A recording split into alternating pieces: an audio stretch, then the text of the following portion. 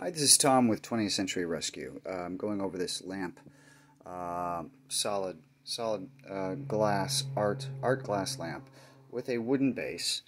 Um, it's sort of a, a clover design, uh, not exactly a clover shape, but I, I, you know what I mean. Um, it's black wood. Um, it does have on the bottom. Uh, let me see if I can do this with one hand. Um, a couple of wear spots or chips to the base. I'd better not, but you, well, you can see there, I think. No, that's not what I'm talking about. Um, but I'll do that in a minute. The reason for this is the, the glass up here is not crystal clear. And in looking closely at it, it looked to me as though it were, was dirty inside. Uh, I took it to a restorer. He believes it's endemic to the glass. And um, because I originally went in there to see if he could take it apart and clean it. And uh, he demurred. He said no.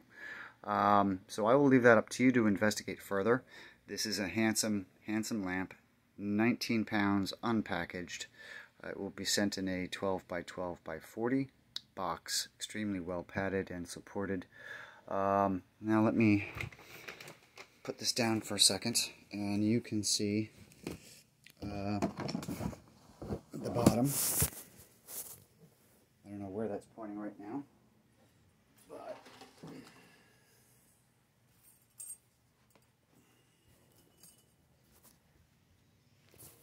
the bottom here, there's a couple of chips to the bottom, and uh, it was well felted. Um, and there you have it. It was felted. There's no name on it, no way to identify it. Uh, but a beautiful, beautiful uh, lamp. And as you can tell, right now, particularly in this uh, shot here, you can tell there is definitely a yellow tint to the glass.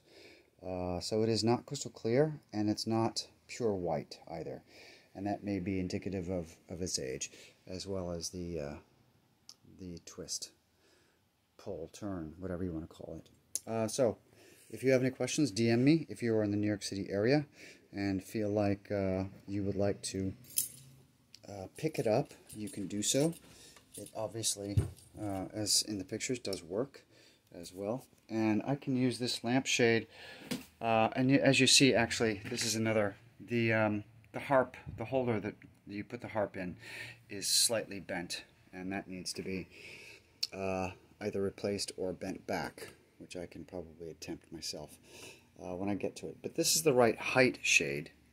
Uh, it is not the right shade for it, though. Uh, and when you put the finial on, uh, there isn't one, so I used another one to another lamp. Uh, the lampshade does stay straight up. Alright, so if you have any questions, please contact me directly, and thank you for visiting 20th Century Rescue.